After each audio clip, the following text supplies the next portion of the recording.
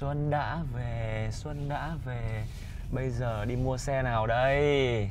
Rất nhiều người đang phân vân xem là chiếc xe nào phù hợp với mình cho công việc đi trong đô thành và cho gia đình đây. Hôm nay chúng tôi sẽ cho các bạn một lựa chọn và cũng là một bài toán. Các bạn hãy cùng tính với chúng tôi nhé. Đó chính là Kona 2019. Thời điểm mà chiếc xe này ra mắt ấy, nó là một một tiêu biểu cho những chiếc xe chạy nội đô và cũng là một cái điểm nhấn của hãng xe đến từ Hàn Quốc đối với khách hàng. Thế thì chúng ta bây giờ có rất nhiều các mẫu xe mới, thiết kế mới, công nghệ trang bị cũng mới mà lại mức giá cũng tương đương với mẫu xe này. Thế có nên hay không nên mua mẫu xe này đây? Chúng ta hãy cùng tìm hiểu trong tập lần này.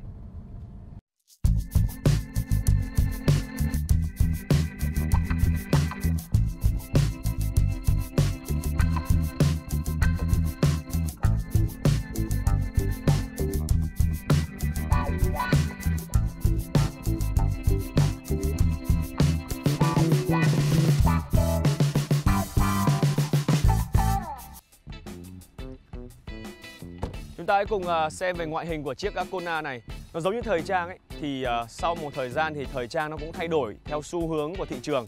Thì ô tô nó cũng thế. Mỗi một hãng xe thì cũng ờ, đưa ra cái vòng đời cho model của chiếc xe của mình cũng khoảng 3-5 năm. Nếu mà nói về mẫu xe này thì cho đến thời điểm hiện tại thì nó có một cái ngoại hình khó có thể cạnh tranh được với những mẫu xe mới. Tuy nhiên quay trở lại cái thời điểm vào những năm khoảng 2018 2019 khi mà mẫu Kona mới mới ra mắt ấy thì thật sự chúng ta phải đánh giá khách quan rằng nó là một mẫu xe mà rất bắt mắt và thu hút người tiêu dùng.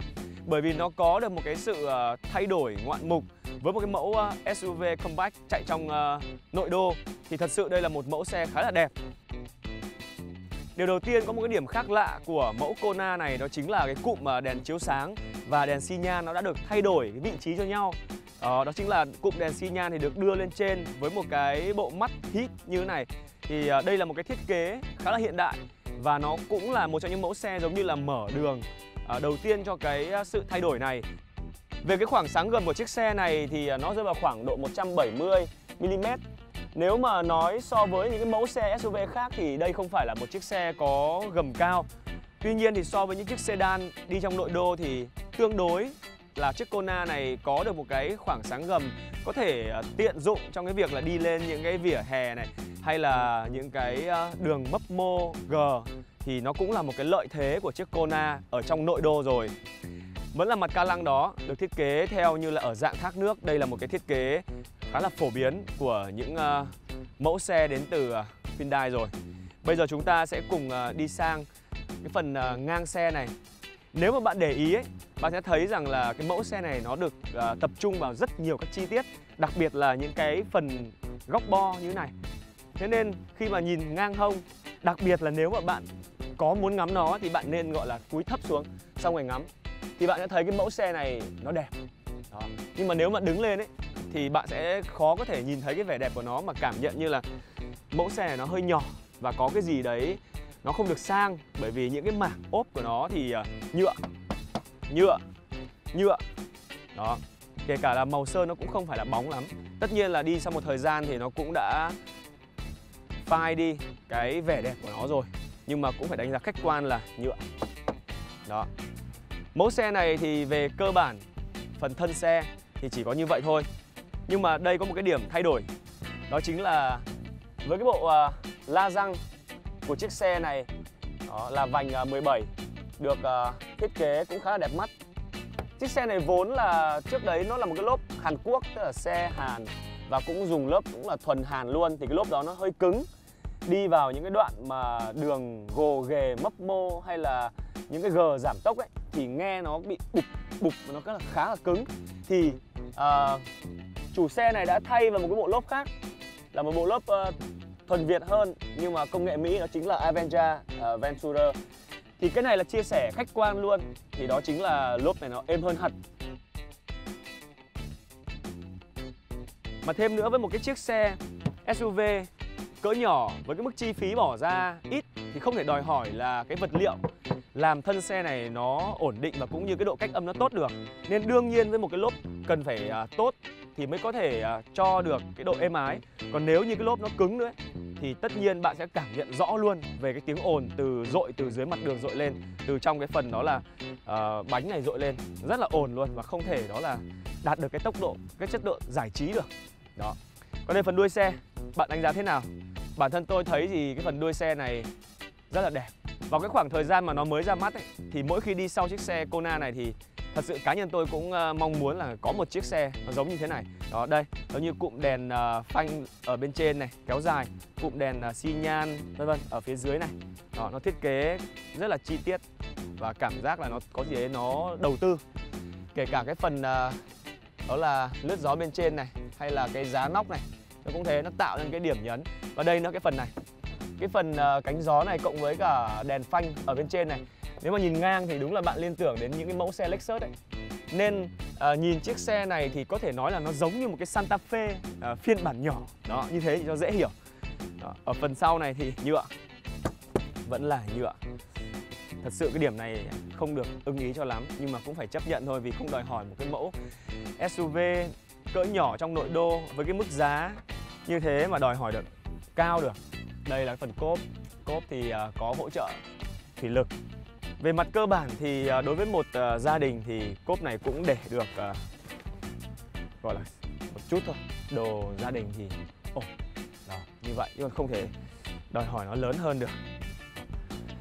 Đấy là về ngoại hình của chiếc uh, xe Kona này. Có thể đánh giá rằng là với thời điểm hiện tại thì những cái mẫu xe khác như là xe tốt của Kia hay là những mẫu xe đang ra đời gần đây thì chiếc Kona này đang đó là bất lợi đó, vào thời điểm trước đó thì tốt thôi còn bây giờ thì đang gặp bất lợi thật sự. Đó. thế thì với cái mức giá bỏ ra như thế khoảng độ 700 triệu nó có cái gì? Có đáng không? Bây giờ chúng ta xem phần bên trong nội thất của nó thế nào nhé rồi chúng ta hãy vào khoang nội thất của chiếc à, Kona này xem nó thế nào. Về cơ bản đánh giá thì à, nó tối giản và không có gì để đáng mà nổi bật để mà kể ra cả. Nhưng mà chúng tôi cũng phải à, chia sẻ với các bạn để các bạn có thể phân biệt được. Chiếc Kona tiêu chuẩn thì ghế của nó là bọc nỉ nhé không phải là ghế bọc da như thế này. Đây là chủ xe đã bọc lại cho toàn bộ ghế của chiếc xe này. Đó. Nếu mà là phiên bản cao cấp của Kona thì sẽ có bọc da luôn không phải bọc lại như thế này nữa. Đây là ghế Hyundai luôn này. Ở cái phần gương hậu cũng tương tự như thế. Cái phần gương hậu này thì ờ, đã mở một cái gương ờ, có góc nhìn ờ, rộng hơn đó để quan sát. Và nó có một cái biểu tượng của cảnh báo uh, có phương tiện uh, đi lên như thế này cảnh báo điểm mù. Tuy nhiên thì ờ, không sử dụng được ở trên ờ, bản tiêu chuẩn này chỉ là hiển thị như thế thôi bởi vì đây là gương của một ờ, cái mẫu Kona cao hơn. Về cả màn hình giải trí cũng tương tự như thế. Màn hình giải trí vốn là một cái màn hình nhỏ hơn nhiều và không có nhiều chức năng cả. À, có một cái điểm hữu dụng của màn hình uh, cơ bản của Hyundai đưa ra đó chính là cái map cái bản đồ thì được uh, xây dựng riêng cho đường Việt Nam. Nên tôi thấy đấy là một cái uh, ưu điểm của những cái chiếc xe Hyundai nói chung và kể cả Kona cũng vậy về à, hệ thống à, điều khiển xe thì à, vô lăng, ba chấu có những cái chức năng cơ bản tất nhiên, đó, cruise control có này, đó, đổ đèo hỗ trợ đổ đèo ngang dốc này drive mode bằng một nút bấm này, đó, rất là tối giản, đó. các cổng sạc cũng được thiết kế khá nhiều, đó. riêng ở trên khu vực lái này thì cũng đã có đến 3 cổng sạc rồi màn hình à, hiển thị à, thông tin ở phía trước của vô lăng thì vẫn được thiết kế kết hợp, có cả màn hình analog cùng với một cái màn hình xíu xíu hiển thị à, về thông số kỹ thuật bằng màn hình điện tử đó. nhưng mà có một cái điểm tôi cũng phải khen, đó chính là về cái hệ thống điều hòa Kona thì hệ thống làm mát này khá tốt, làm mát khá tốt mặc dù là thiết kế của cái cửa điều hòa, một cái thiết kế cửa gió rộng và đơn giản, không có uh, sang trọng và lịch lãm lắm. Tuy nhiên thì uh, về cái khả năng làm mát thì về cơ bản là tốt. Đây là một số đánh giá về nội thất.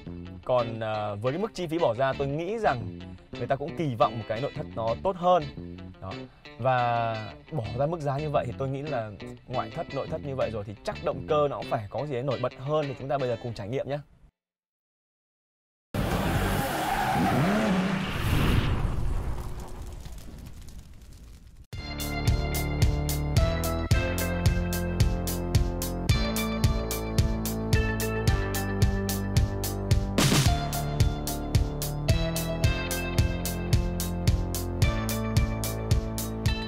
Xét về tính thời điểm thì cách đây ờ, vài năm có thể nói rằng là Kona là một trong những sự lựa chọn được ờ, ưu tiên cho dòng xe nội đô và gia đình. Tuy nhiên đến thời điểm hiện tại khi mà xuất hiện rất nhiều các mẫu xe model mới, kiểu dáng mới và được trang bị với những gói công nghệ rất là hiện đại mà lại cùng mức giá phải bỏ ra như vậy thì lúc này Kona đang phải cạnh tranh khốc liệt hơn và ngoại thất nội thất thì có thể thấy rằng thật khó có thể cạnh tranh được. Vậy bây giờ thì về cảm giác lái thì thế nào? Cái này tôi phải chia sẻ luôn, đó chính là Kona có cái ưu điểm đó chính là bộ máy. Động cơ 2.0 này rất là mạnh.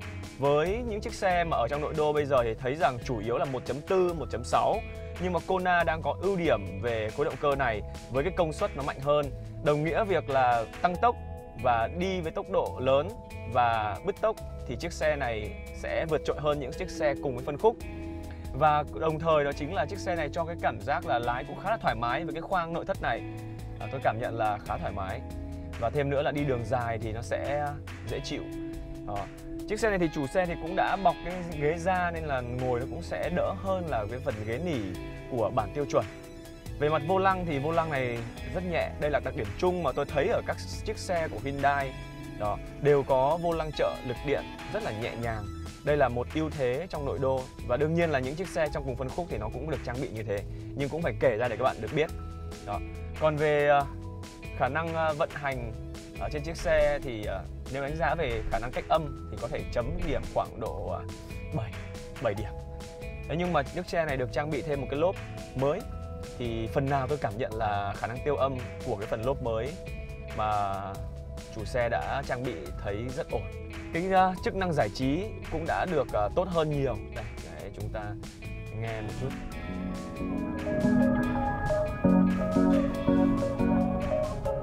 Bởi vì cái khả năng tiêu âm và cách âm của lốp này và của uh, khung sườn xe cũng uh, tương đối ổn nên là khả năng giải trí là tốt rồi về cơ bản thì không có nhiều điều để nói về chiếc xe này Tuy nhiên lưu ý một chút là với khối động cơ này di chuyển trong nội đô thì có khi cũng sẽ là một cái cần phải lưu tâm một chút vì uh, nhạy quá, bứt tốc quá thì có thể là người nào mà hơi non trong vấn đề lái xe thì phải cẩn thận đó, với uh, cái khối động cơ này. Đó, đây là một số đánh giá của tôi. Uh, chúng ta sẽ cùng uh, tiếp tục đến với những cái thông tin khác của chiếc xe này.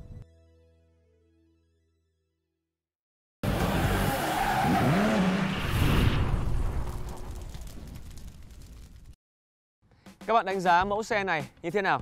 Cá nhân tôi thì ờ, thấy rằng mẫu xe này nó cũng có những ưu điểm và có những cái điều mà chưa được ờ, ưng ý cho lắm. Đầu tiên, họ nói ưu điểm thì mẫu xe này dù sao cũng là một mẫu xe SUV compact chạy trong nội đô có cái ngoại hình nhỏ thì dễ luồn lách và xử lý những cái cung đường nhỏ, hẹp, chật trội và những cái ờ, đoạn đường đi vào nhà bạn hay đến nơi làm việc mà nó đông đúc và phải xử lý những cái pha đánh lái nhiều thì mẫu xe này nó cũng đáp ứng được. Về à, Máy móc của chiếc xe thì cũng tốt. Đó là vận hành và tăng tốc cũng rất là ổn định. Đó, Hợp lý trong uh, vấn đề chi phí nuôi xe và duy trì bảo dưỡng xe. Và ngoại hình của chiếc xe này thì cũng trẻ trung và cũng khá là mới mẻ về mặt thiết kế. Nên là với những người trẻ trung, uh, thanh niên thì mẫu xe này cũng là một sự lựa chọn tốt. Nhưng mà trong phân khúc thì với cái mức giá mà bỏ ra để sử dụng chiếc xe này bạn có thể đang có rất nhiều lựa chọn khác nữa. Đặc biệt là với những cái mẫu xe mới ra mắt thì ngoại hình này cho đến công nghệ nó đều vượt trội hơn so với mẫu xe Kona này. Hoặc là bạn cũng có thể lựa chọn được một cái mẫu xe mà đã qua sử dụng cách đây khoảng 3 năm, 4 năm rồi với cái mức chi phí tương đương với Kona mà lại có nhiều công nghệ và ngoại hình cũng như là cái công năng sử dụng xe nó cũng tốt hơn nữa. Đó. Đây là một số cái đánh giá về à, mặt cá nhân quan điểm của tôi. Còn hy vọng là các bạn cũng sẽ có được những cái đánh giá của bản thân mình để đưa ra lựa chọn tốt nhất. Xin cảm ơn các bạn đã quan tâm theo dõi chương trình. Xin cảm ơn công ty cổ phần công nghiệp Cao su miền Nam, Cao su Mina đã đồng hành cùng với chúng tôi. Xin chào và hẹn gặp lại.